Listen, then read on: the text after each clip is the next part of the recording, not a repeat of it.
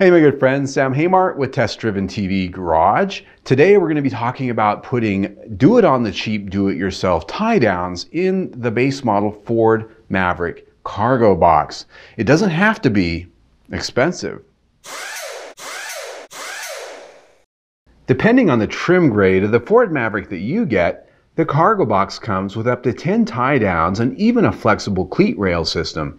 If you get the base XL, however, like we did with our long-term test Maverick, you get only four bed tie downs, two at the front mounted high, and two at the rear mounted at the base of the tailgate. And yes, there are the other two on the tailgate, but the floor at the front of the cargo box only has empty holes.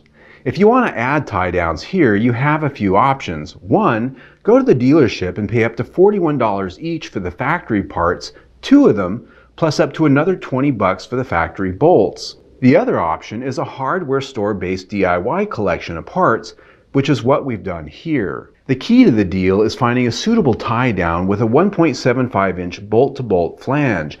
Not easy at all.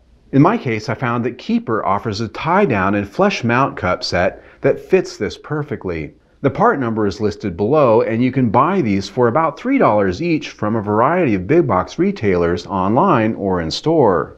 I'm also adding a drop-in plastic bed liner, so I plan to use the flange cups in that installation, but you can leave them off if you just have a plain bed surface or the spray-in bed liner. You will also need four M8 by 125 body bolts available either online or at higher end hardware stores. I ordered these online with the factory Torx style head. They came with washers pre-installed.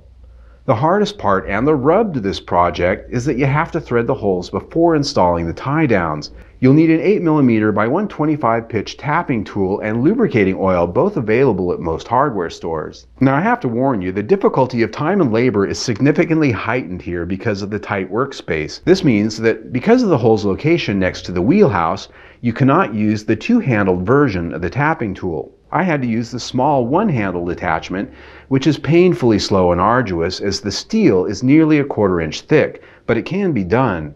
You can use self-tapping bolts and bypass the tapping tool routine, but I've had mixed luck with them and prefer to tap the holes manually in spite of the extra strife involved. Once the holes are tapped, cleaned, and fully vetted, you can install the tie downs forthwith. They're simple but heavy duty and effective whether you use them with or without the cup flanges. Here I'm showing you both ways, bare and with the bed liner and the cup flanges. Either way, much cheaper than the factory hardware. All in, this project cost about $15, and this is actually part of a larger series of projects, including adding outlets to the bed, a cleat system, as well as a drop-in bed liner. You can see all of those videos on our playlist right there. A lot of Maverick content and the full makeover of our cargo box. You can also subscribe to TDTV Garage right there and stay notified of everything we do.